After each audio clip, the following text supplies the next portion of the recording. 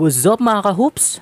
SMB import Chris McCullough gustong maging naturalized player ng Gilas at Terence Jones back to NBA na nga ba?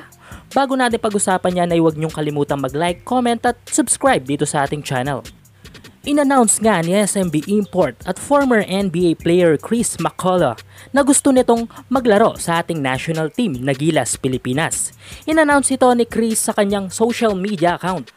Pagdating pa lang sa Pilipinas ni Chris nagustuhan na niya ang isang pagkain ng isang fast food chain dito sa Pilipinas. Pero aside doon sa palagay ko ay marami pa siyang bagay na magugustuhan dito mga kahoops tulad ng pagiging isang naturalized player.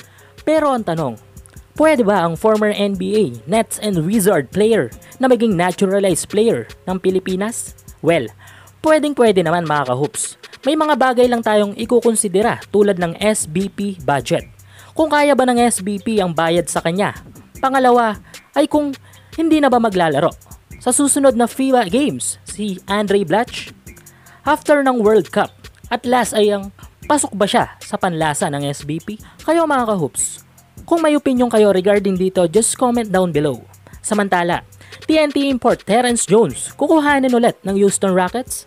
Nakaraan video na ginawa ko mga kahoops ay napag-usapan natin ang tungkol sa pagkakaroon ulit ng interes sa mga NBA teams kay Terence Jones. At isa na nga dito ang dati niyang team na Houston Rockets. Ayon sa sport website na SB Nation sa www.dreamshake.com na ang sabi ay Rockets to bring back Terence Jones sa panulat ni Conrad Garcia. At sa sports website na The Athletic ay pinag-uusapan na rin ito mga kahoops. Ang rumors lang daw dati na kukuhanin ng Rockets si Jones. Pero ang rumors daw na ito ay mukhang nagkakatotoo na ngayon. Same thing din sa social media account ng Clutch fans. Ito rin ang sinasabi sa post nila. So good news ito para sa TNT Import. Siguro malaking tulong din ng PBA sa pagtanto ng Houston na ibalik si Jones, di ba mga ka-whoops?